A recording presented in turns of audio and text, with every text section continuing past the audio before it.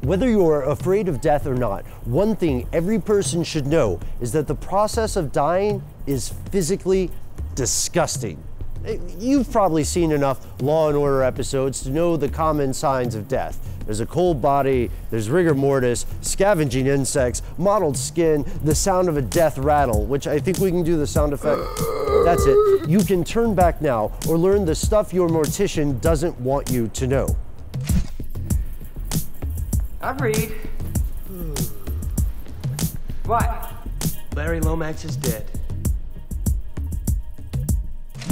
First up, yes, you're going to lose control of your bladder and your bowels. Your muscles will no longer receive energy, so they'll relax, and whatever you last ate is going to slip and slide its way out. Likewise, the brain function that keeps your urinary sphincter closed will turn off, and you're going to dribble. And as you decompose, more about that part later, the buildup of gas will help push anything remaining out as well. You will purge all kinds of fluids from your various orifices.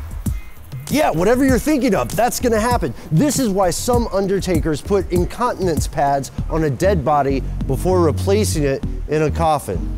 In fact, this gas buildup is so strong that after a few weeks, its pressure can actually make a dead pregnant woman expel her fetus. And here's your morbid trivia for today that is known as a coffin birth. That is a thing.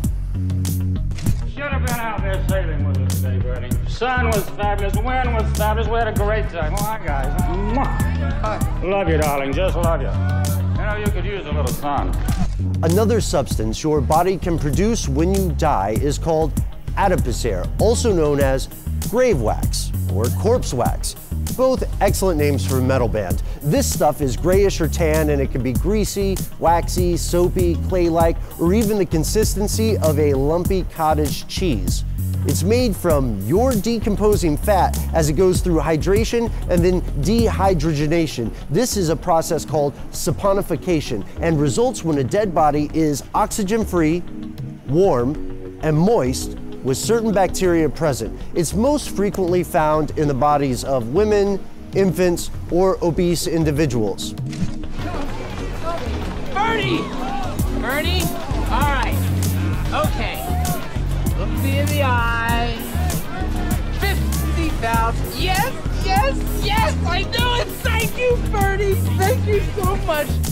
What if you die with your eyes open, right? Somebody's probably asking. If your eyelids aren't closed when you die, the exposure can lead to a brown or black strip across the eyeball. This is known as tache noire or black spot. Eyeballs also deflate when you die, like a basketball with a leak in it. So some medical examiners feel confident that by measuring the corneal turbidity of your eyes, they can estimate when you died. To hide this deflation effect for, you know, an open casket, funeral homes place eye caps over the flattened eyeball or inject a tissue builder into it to fill it back up. And sometimes embalming fluid on its own is enough to refill your eyeballs back to their normal size. This is so right. Oh my god, this can't be happening to me. It's happening to both of us. Another weird fact about your eyes when you're dead, since we're on the subject, they no longer reflexively respond to stimulation. In fact, this is one way examiners test to make sure your brain is dead. They hold your eyes open while like injecting ice water into your ear canal. Uh, this drastic temperature drop would make the eyes violently twitch, if you are in fact alive. It's called the oculovestibular reflex. I, I know this doesn't seem as gross as uh, all the vile substances exiting various dead orifices, but think about it. There's a decent chance some poor doctor is going to have to pour freezing water into your ear while staring into your cold, lifeless eyes.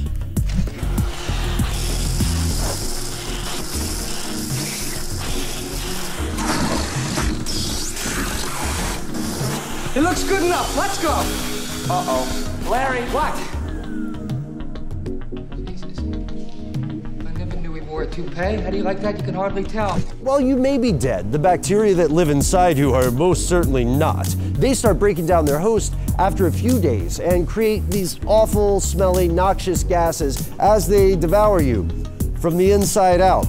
And this is what causes your body to bloat. So those flattened eyes bulge out of their sockets, the swollen tongue protrudes, all those fluids are forced outward. Your body will change colors as the bacteria feed. First green, then purple, then finally black.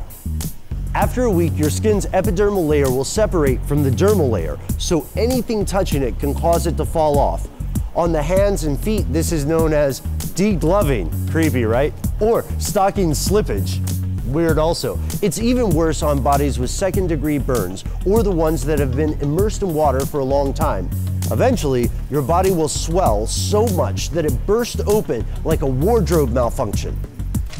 Now that we've covered the grossest things that happen to you when you die, I've got to know how would you like your body to be disposed? Do you want to be buried or cremated or shot into space or, or maybe uh, do a sky burial thing, which is fascinating, but story for a different day. Let, let us know in the comments below. And while you're still here, if you want to know more about death and dying, subscribe to this channel. Visit our original article, How Dying Works, at howstuffworks.com.